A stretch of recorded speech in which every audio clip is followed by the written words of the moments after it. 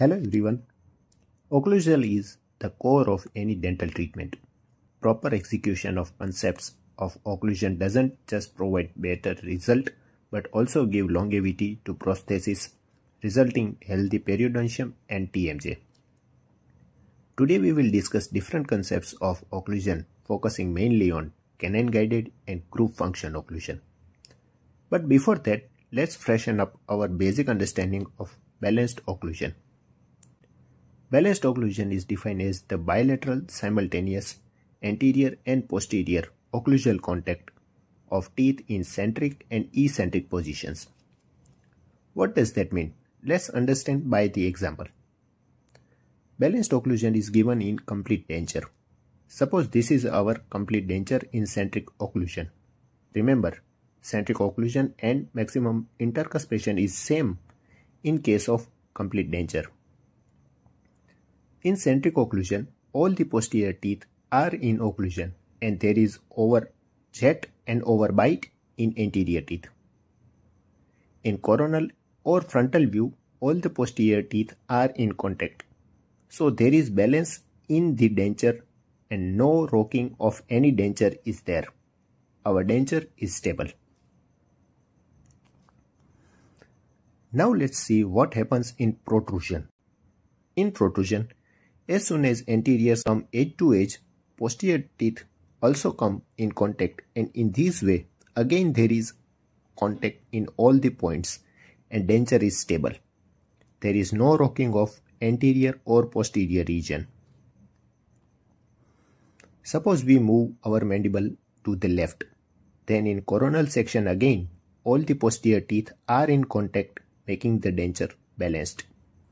So, the definition itself is the explanation that is balanced occlusion is bilateral, simultaneous, anterior and posterior occlusal contact of teeth in centric and eccentric positions.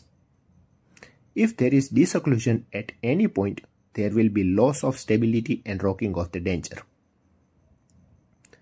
Now let's understand another occlusal scheme that is mutually protected occlusion. Our mandible is class 3 lever that means force nearer to the muscle will be more. So, posterior teeth will bear, bear more force than anterior during biting. That's why they can be used to crush the hard food. Plus, studies have shown that contact in posteriors will increase masseter and temporalis activities. Now suppose you bite an apple from anterior teeth.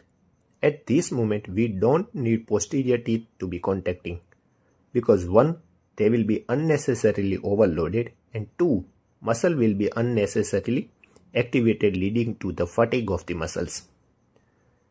This type of scheme where anterior teeth protects the posterior teeth in eccentric moments and conversely have the posterior teeth protect the anterior teeth in maximum intercuspation is called as mutually protected occlusion. But what if we have a harder food like a raw meat? Then you need to tear this food with canines. In this case, only canines of working side will be contacting teeth in the mouth. All the other teeth will be disoccluded. This type of scheme where canine prevents all the other teeth from contacting is called as canine guided or organic occlusion, which is a part of mutually protected occlusion. As canine have longer roots, they can withstand higher forces and they are nearer to the muscle compared to incisors so they can produce more forces.